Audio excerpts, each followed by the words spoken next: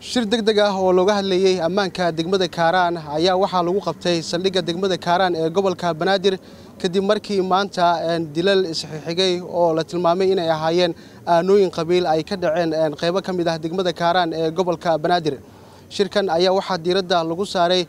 sidii looga hortegi lahaa falal kale oo la xiriira aanooyin qabiil oo ka dhaca degmada kaaraan ee gobolka banaadir iyo sidii wax looga qaban lahaa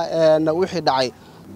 shirkan ayaa waxaa shir guddoominayey taliya-xigeenka booliska soomaaliyeed waxaana ka qayb galay taliska qaybta bari ee gobolka banaadir. Sidoo kale waxaa ku sugnaa taliska qaybta guud ee gobolka banaadir oo uu ka socday taliya-xigeenka booliska gobolka banaadir. Sidoo kale taliyaha booliska saldhigga degmada kaaraan ayaa ku sugnaa guddoomiyaha degmada kaaraan isna waa uu ka qayb galay.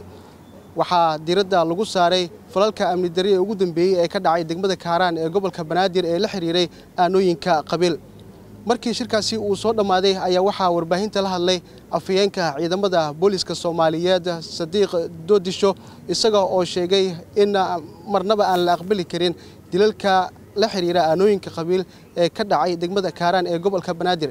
Bismillahi raxmaan raxiim sagaaliyo tobanka sebtembar laba kun labaiyo labaatan waxaan mar kale joognaa saldhigga booliiska degmada kaaraan ee ciidanka booliiska soomaaliyeed. Waxaan isugu nimid dhacdo maanta ka dhacay degmada kaaraan ee gobolka banaadir taas oo liddi ku ahayd amniga iyo xasiloonida qalqalgelinaysana amniga ee degmada kaaraan. Waxaa la isugu yimid in sidii looga hortegi lahaa falalka noocaas oo kaleeta in ay sii socdaan oo ay ka sii dhacaan degmada gaar ahaan degmada kaaraan. Marka shirkeenna maanta caawa intaasuu ku salaysnaa. Ujeedkuna waxay ahayd in laga hortago in falalka noocaasa aysan ka dhicin degmada kaaraan fariin ayaan halkan uga gudbinaynaa ummadda soomaaliyeed gaar ahaan dadka ku nool degmada kaaraan iyo guud ahaan caasimadda gobolka banaadir caasimadda muqdisho ee ummadda soomaaliyeed in falalka noocaas ahi qof walba oo geysta isaga lagula xisaabtami doono loona maxkamadayn doono iyadoo baaristeeda iyo kiisaska falka noocaasa la xiriirana la horkeeni doono maxkamadda awoodda u leh marka hay'adaha ammaankuna ay sii laba jibaaraan dadaalkoodii iyo in la xaqiijiyo amniga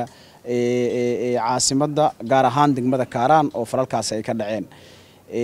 Waxaa jiri doona howlgallo lagula dagaalamayo falalka noocaas ah halkaas ayaa caawa shirkeenii isugu yimid ciidamada ammaanka ciidanka booliiska soomaaliyeed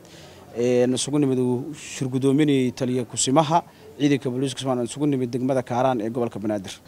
Sidoo kale waxaa goobta ka hadlay xerlaaliya ku-xigeenka ciidamada qalabka sida ee dowladda federaalk ee soomaaliya dhame ismaaciil salaad maxamed kaasi oo sheegay in hay'adaha ammaanka looga baahan yahay inay baaris ku sameeyaan dadkii ku lugta lahaa falalkaasi la xiriira aanooyinka qabiil islamarkaana cadaaladda la horkeeno. Waxaa ka dhacday dhacdo aada u foolxun. Ayaa waxay ka dhacday maanta degmada kaaraan. Dhacdooyinkaas oo ku soo laablaabtay degmada kaaraan ay geysanayaan ciidamada qalabka sida gaar ahaan ciidamada qalabka sida hay'adaheedu kala duwan. Waxaan halkan fariin uga diraynaa waxaan halkan ka caddaynaynaa waxaan halkan ka faraynaa hay'adaha amniga iyo nabadgelyada iyo hay'adaha baarista inay arrintaas ay baaris ku sameeyaan cid kasta oo arrintaas ay ku lug lahaatana ama ay ku caddaato ama gacan ka geysatay ama fulisana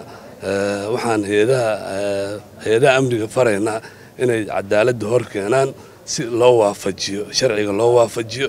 Cid kastana cid kasta ay ku caddaatana arrimaha noocaasa falalkaas amniga lid ku ah ku soo laabtay degmada kaaraan iyo gobolka banaadirba. Gudoomiyaha degmada kaaraan ee gobolka banaadir ayaa dhankiisa ka hadlay. Waxaan rabnaa bulshada degan degmada kaaraan waxaan ka codsanayaa inay hayadaha amniga la shaqeeyaan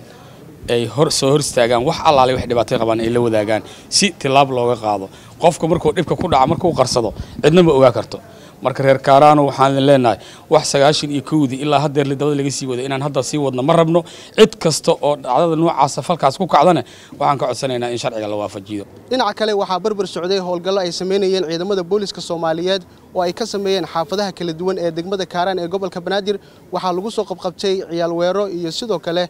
muqaadaraadka noocyadooda kala duwan sida calaqa iyo xashiishka afyeenka ciidamada booliska soomaaliyeed ayaa mar kale waxa uu ka warbixinayaa howlgalkaasi lagu soo qabqabtay ciyaal weerada iyo sidoo kale waxyaabaha maanka dooriya. Sidoo kale dhanka kaleeto waxaa jira howlgallo ee ciidanka booliiska soomaaliyeed qaybta booliiska bari ee gobolka banaadir ay ka samaysay degmooyinka qaybta bari ee gobolka banaadir taasoo lagula dagaalamayay dhallinyaradii ayaantanba loogu yeerayey ciyaal weero iyagoo liddi ku ahaa amniga iyo xasiloonida degmadan kaaraan iyo degmooyinka kale ee ku teedsan degmada kaaraan ee qaybta bari ee gobolka banaadir. Dhalinyaro badan oo falalka noocaasa lagu soo eedeeyey ayaa iyagana sidoo kaleeto la soo qaqabtay iyagana maxkamadda awoodda uleh ayaa lagu simi doonaa ilaah idinkiisa zakariya axmed muuse t v-ga shabeelle muqdisho